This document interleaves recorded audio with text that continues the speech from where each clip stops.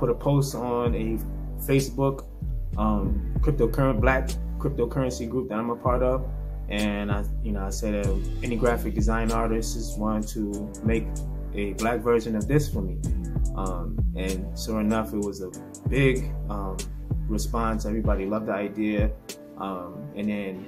Um, the female that I chose, I'm actually going to be sharing, or I am sharing already, um, royalties from the sales of Mr. Millennial. So we get to put the music business model on top of an arts model using NFT.